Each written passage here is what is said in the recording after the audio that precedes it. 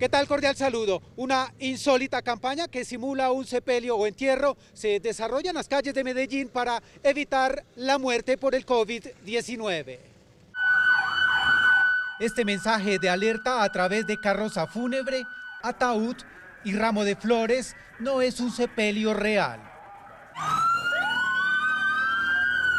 Es un mensaje emitido por la policía de Medellín, Colombia, con la intención de evitar que se incrementen las muertes por el contagio de coronavirus. Un mensaje contundente.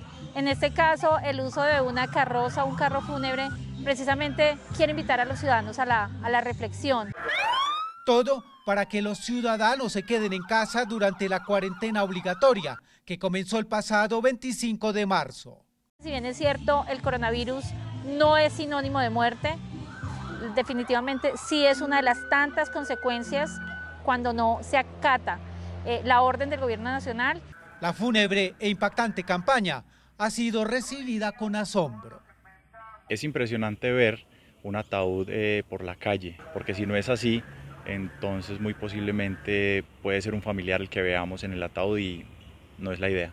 Para otros, la alerta de concientización es buena, pero se ven obligados a salir a la calle. Lamentablemente para nosotros los seres humanos hay veces ver esta clase de cuadros plásticos nos sirven bastante para darnos cuenta de la realidad. Además en la carroza se lee una contundente frase, aunque todos tenemos que morir, no nos matemos. Ahora se espera que esta campaña se extienda al resto del país porque ya deja 16 muertos y más de 900 contagios. Desde Bogotá, Colombia, soy Daniel Muñoz Arias, Telenoticias 31, Telemundo.